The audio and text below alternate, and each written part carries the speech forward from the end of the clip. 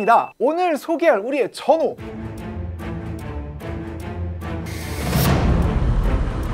소총 조준 사격 드론입니다.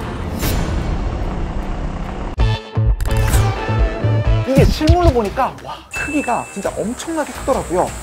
날개를 펼칠 경우 가로 세로 길이가 181cm에 무게는 본체만 33kg입니다. 특히 이 드론은 크기가 큰 만큼 출력도 강해서 payload 그러니까 기체가 들어올릴 수 있는 무게도 거의 10kg에 달한다고 하는데요. 이론적으로만 따지면 한 정당 4kg 내외인 K2 소총 플러스 30발들이 탄창을 두 자루까지는 너끈히 달고 날아다닐 수 있다는 이야기입니다. 만 이 컷을 보시면 알겠지만 이 드론에 장착된 K2 소총이 딱한 자루죠.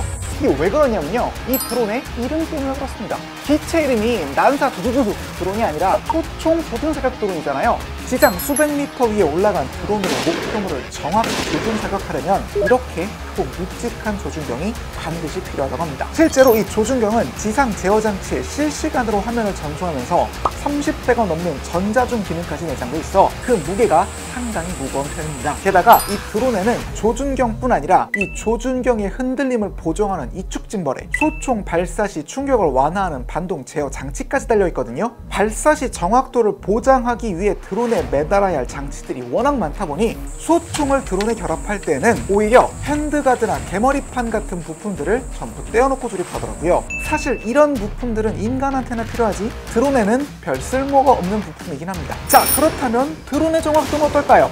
국내 한 방산업체의 협조를 받아 사격장에서 0점 사격을 진행해 왔습니다. 보이시나요? 사격 버튼을 누를 때마다 탄이 한 번 맞은 바로 그 자리에 또다시 차탄이 꽂히고 있습니다. 말 그대로 기계가 총을 쏘는 것이다 보니 인간적 요소들, 그러니까 사격자의 호흡이나 자세 등과는 전혀 연관없이 오직 총기 자체의 정확도만이 명중률에 영향을 미치더라고요. 약 고도 150m에서 사거리 251대, 15cm 각원 그 정도에 대해서는 한 80% 이상의 정확도를 확보하고 있습니다.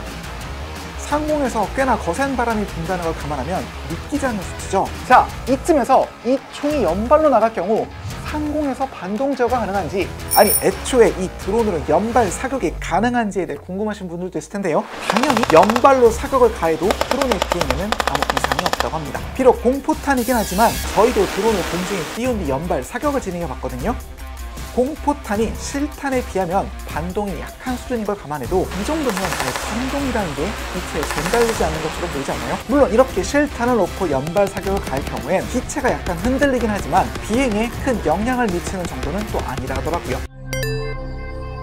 명색이 오목교 전자상가인데 지상 제어 장치에 대한 이야기를 빼놓을 수 없겠죠. 이 장치를 좀 무식하게 표현하면 기존 드론 컨트롤러에 소총 조준 사격이 가능한 조이스틱과 버튼을 많이 달아놓은 거대한 PC입니다. 아닌 게 아니라 진짜 윈도우 기반 PC예요. 이 익숙한 UI 보이시죠?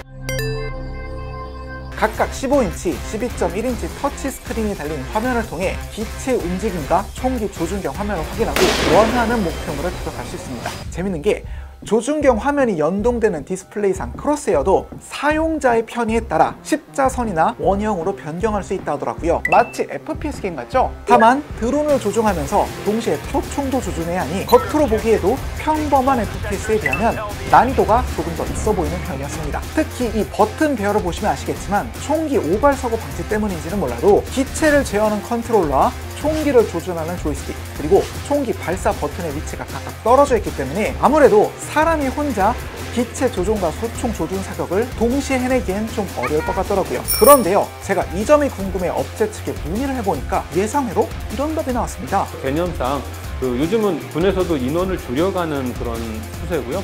현재도 1인이 운영하는데 특별히 문제점은 없습니다. 한 명인 뭐 4대, 5대의 비행을 할 수 있는 시연들은 많이 해놨고요. 오히려 2인 1조가 아닌 1인 다수의 드론을 운영하는 방식을 고려준다는 답변. 알고 보니 이 드론에는 목표물 자동 추적 기능과 라곤 기능이 적용돼 일단 사수가 목표를 정해놓으면 사수가 기체를 움직여도 조준 상태가 그대로 유지된다고 했습니다. 개념상으로는 한 명의 사수가 다수의 드론을 이용해 하나의 목표물을 집중 사격하는 군집 공격이 가능하다는 거죠. 이쯤에서 상상력을 조금만 더 발휘해본다면 K2 소총 대신 기관총을 매단 드론이 벌떼처럼 달려들어 목표물에 총알을 쏟아붓는 그림도 가능해집니다. KSNT 모티브 쪽에 K15나 다양한 총기를 달아서 운영할 수 있는 드론을 개발할 계획입니다. 너무 좋은 점만 이야기했나요? 이 드론 분명한 단점도 있습니다. 현재 이 드론은 총기를 기체에 결합시키는데 너무나 오랜 시간이 걸립니다. K2 소총의 개머리판과 handguard를 분해하고 드론 몸체에 달린 레일 부위에 총기를 결합한 뒤 조준경을 달고 발사 장치를 결합한 뒤에야 발사 준비가 끝나요. 업체 측에서는 해당 문제가 드론에 달리는 구형 K2의 확장성이 부족해 생기는 문제라며 레일이 부착돼 확장성이 뛰어난 신형 K2C1을 기반으로 하는 드론 개발을 진행 중이라 밝혔는데요. 아무래도 결국에는 이렇게 기존 상용 총기를 드론에 매다는 형태보다는 기존 방산업체와 협력해 드론 전용 총기를 개발하는 방향으로 나아갈 가능성도 수 있을 것 같습니다. 참고로 이렇게 드론에 소총을 달아 운영한다는 개념을 처음 떠올릴 때만 하더라도 업체 측이 생각했던 용도는 제압 사격 정도였다 합니다. 적이 진격하지 못하도록 그냥 위협 사격하는 용도로다가 처음에 생각을 했었고요. 하지만 막상 개발을 하다 보니 조준 사격의 정확도가 비약적으로 상승하면서 생각이 바뀌었다는데요. 250m 사거리 한 80% 이상의 명중률이 나오다 보니까 이제는 작전 개념이 대테러나 저격 쪽으로 바뀌어가는 부분입니다. 이런 무기 체계는 최근 전 세계적으로 각광을 받는 추세라 합니다. 하지만 이쯤 되면 걱정이 되는 것도 사실입니다. 지금의 기술 발전 속도로 볼 때 드론에 소총을 달아 공격을 하고 나중엔 기관총까지 달아 수십 수백 대의 군집 드론으로부터 공격을 받는 게 마냥 SF 영화상의 일로만 멈출 것 같진 않거든요. 자, 그럼 어떻게 해야 하냐고요? 창이 있으면 방패도 있는 법. 오목교 전자상가에서 이런 드론들을 막을 수 있는 anti drone gun 역시 취재를 했습니다. 다음 주에는 이 anti drone gun에 대한 이야기를 풀어놓기로 약속하며 영상 마치도록 할게요. 끝! 야, 이 정도면 좋은 빌드업이었다. 끝냅시다. 빰빰빰빰빰빰빰빰빰